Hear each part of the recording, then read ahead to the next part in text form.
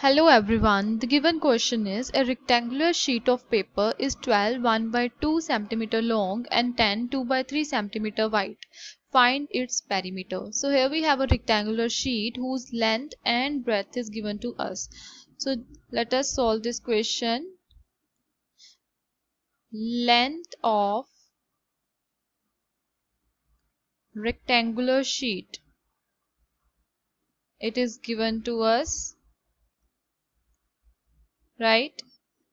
So length is 12 1 by 2 centimeter. So we can change this mixed fraction into simple fraction. 12 into 2 is 24 24 plus 1 is 25 by 2 centimeter. So this is our length. Next is breadth of rectangular sheet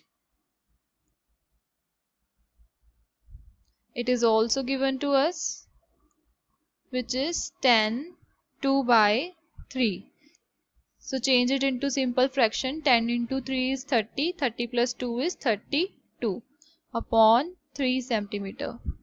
Now we need to find the perimeter.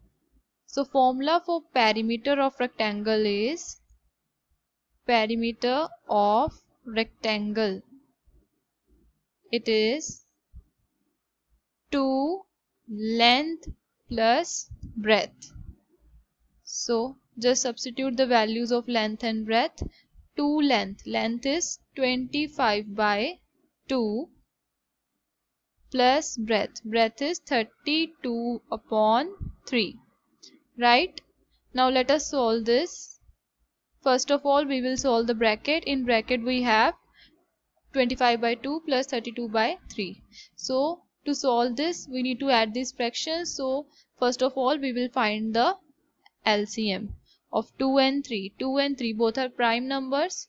So here we get 3 ones are 3 so LCM will be 3 into 2 which is 6 right? So 6 divided by 2 gives 3 therefore here we get 25 into 3 plus 6 divided by 3 is 2 so here we get 32 into 2.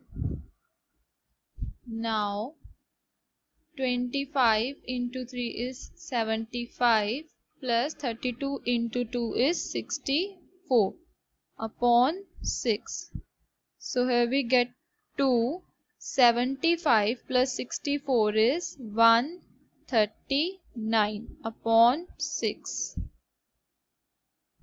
So from here we get 2 ones are 2 2 threes are 6 so answer will be 139 by 3 centimeter so this is our answer.